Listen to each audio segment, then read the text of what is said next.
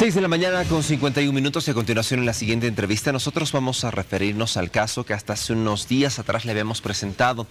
Una madre de familia que llegó desesperada hasta nuestro medio de comunicación, quien junto a su abogado nos contaron que evidentemente se había dictado sentencia contra tres personas, contra tres profesores, quienes según se especifica cometieron bullying y además una serie de factores en contra de un muchacho cuando tenía 14 años, eso hace seis, eh, seis años atrás.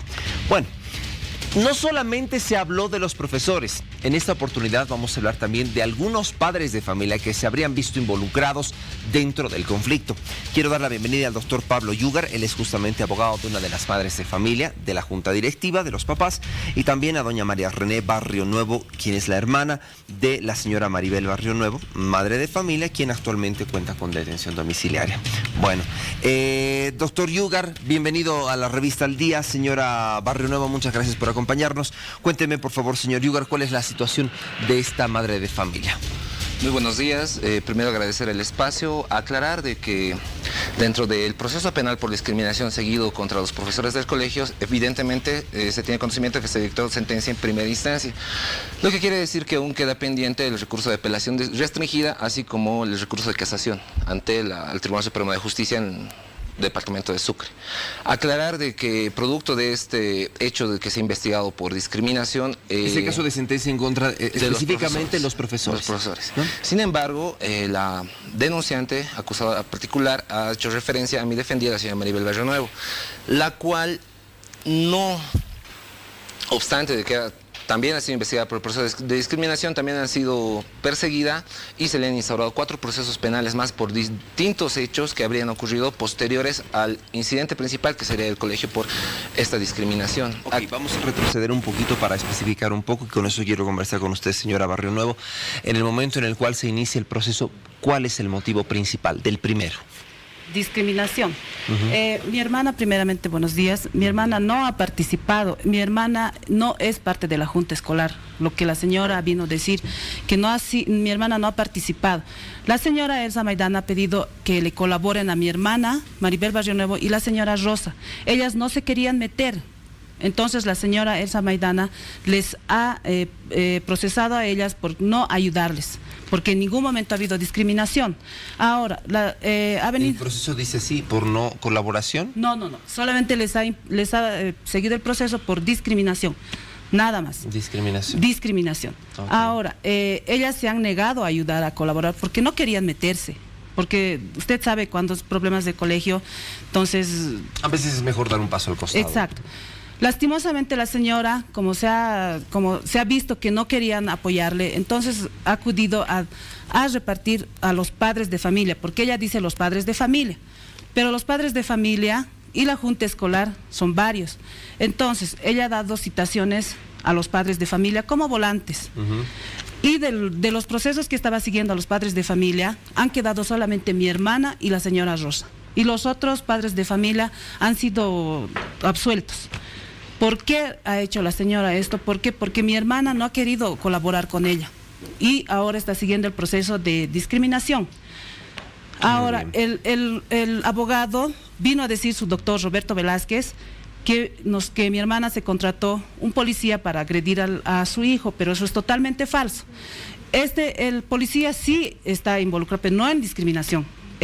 su hijo de esta señora le ha agredido a mi sobrina con vidrio pero esto ha pasado el 2014. ¿Ustedes han presentado la denuncia? Hemos presentado la denuncia, pero la señora no sé de qué, de qué privilegios goza, no sabemos qué es lo que pasa en la FERCC, en la fiscalía, en los juzgados, la señora les agrede a los jueces, les agrede a los fiscales, les agrede a los policías.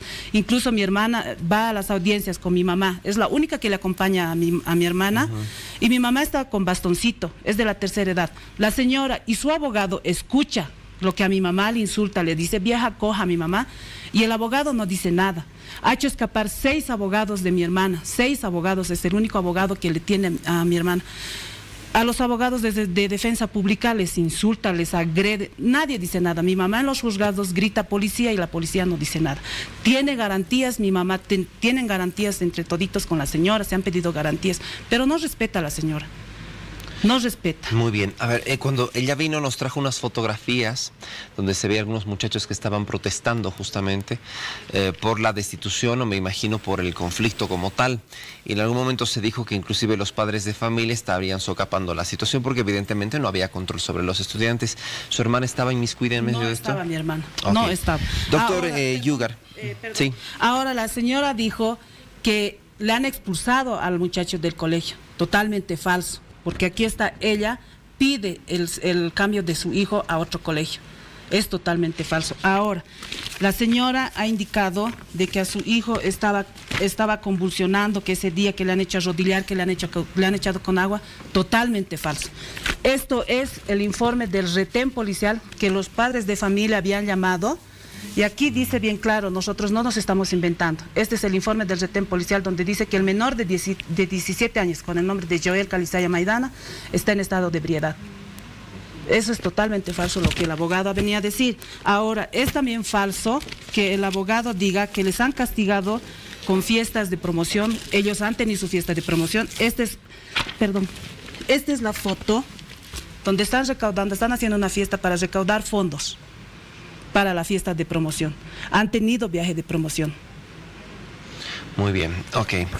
Bueno, más allá de, la promoción como tal, lo que me interesa saber es cuál es la situación ahora de la señora Maribel Barrio Nuevo. Según tengo entendido, ella está con detención domiciliaria. Eh, sí, efectivamente. En, en, un determinado momento se le lleva adelante el proceso por discriminación, esto por el antecedente que existió en el colegio. Posterior a ello y a manera de mi representada y a su familia también, se le instaura una serie de procesos penales por otras circunstancias.